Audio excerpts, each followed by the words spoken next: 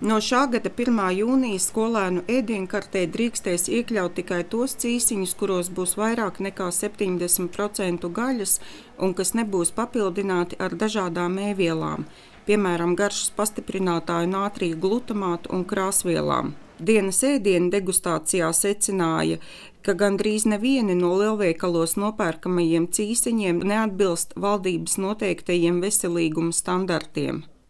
Es gribētu teikt, bērni, neškrabējieties par to, ka valsts mēģina jums aizliegt cīsiņus ēst skolā, jo pa lielam tā ir laba doma. Un pieaugušie es gribētu atgādināt, ka ir atšķirības starp jēdzienu cīsiņš un jēdzienu desa. Un tas, ko mēs ēdām šodien, bija diezgan attāli no jēdziena desa. Man garšoja pirmais cīsiņš, man garšoja pēdējais cīsiņš, un pa vidu es atgriezos dzimtenē, jo tur bija kārtīgs, lielisks hotdogs, bet lielākoties visnotaļ nožēlojami. Es palieku ļoti uzticīga cīsiņam numur viens, kas man ļoti garšoja, jo tur bija ļoti augsts procents um, gaļas.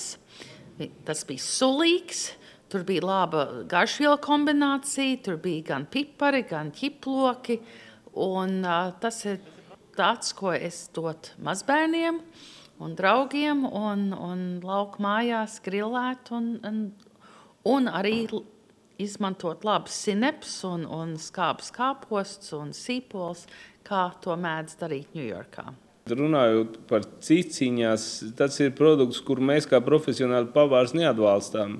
Un neatbalstīsim, kamēr uz tos produktus neat, neatradīs vairāk gaļas vai, vai cik daudz gaļas, cik ražotājs uz to, uz to iepakojumu. Otrā, uh, tas ir pilnīgi skaidrs, kāpēc skolās tas produktu nav jābūt. Bet e, runājot par degustāciju, es varu pateikt, ka, jā, ka pirmā, jo bija pirmā, ko mēs degustējām, un pēdējā, jo mēs gaidījām vēl kaut kādu vēl garšīgāku nekā to. Pirmais cīsiņš garšo ļoti labi, tāpēc mēs visi bijām ļoti izbadējušies, bet viņš arī bija labs, e, bija garšīgs. E, top, pagaidām vēl nezinām, kā viņu sauc, kā vārds uzvārds, bet noteikti mēs viņus uzzināsim. Un pēdējais noteikti garšo, bet tam es jau zinu uh, vārdu uzvārdu, jo to arī es gaidīju cīņu. Tas arī man favorītos ārpus šīs degustācijas, varbūt ma ar mazām niansītēm.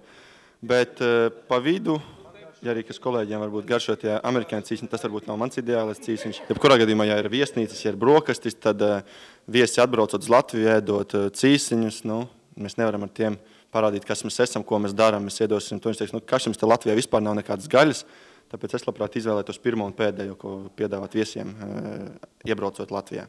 Plašāku degustācijas aprakstu lasiet žurnāla dienas ēdienu jaunākajā numurā. Solvita Smilģi, Artis Baņģieris, speciāla Diena TV.